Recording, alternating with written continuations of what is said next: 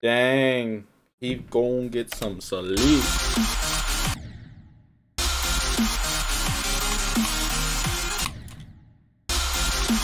I remember Ozzy had like a ton of viewers. Mm-hmm. Hold up.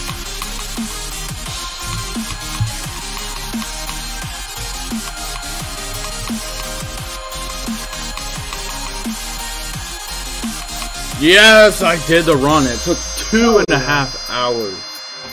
Okay, I remember Ozzy was streaming one time, and uh, when he beat Zodiac,